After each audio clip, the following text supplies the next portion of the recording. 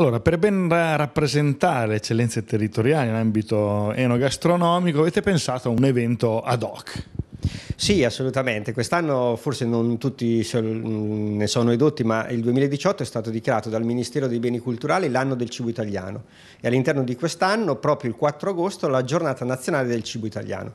Allora come amministrazione comunale ci siamo detti perché non organizzare qualcosa che possa promuovere al meglio il nostro territorio, che forse ancora non tutti conoscono, attraverso quelle che sono le eccellenze gastronomiche locali. E quindi da qui questa idea di organizzare una serata al Museo del Balì che è un po' l'eccellenza culturale di Colle del Metauro. Quando si terrà, dove, a che costo?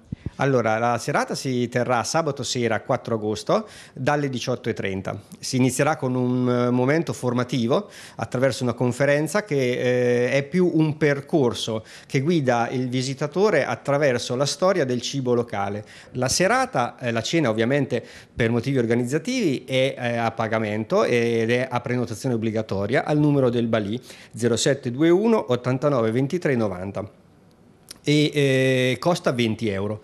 Dopo cena però è previsto un concerto, eh, un omaggio al compositore pesarese Gioacchino Rossini, di cui quest'anno è il 150ennale, e eh, ci sarà appunto una soprano, Elisabetta Cordella, con il suo gruppo.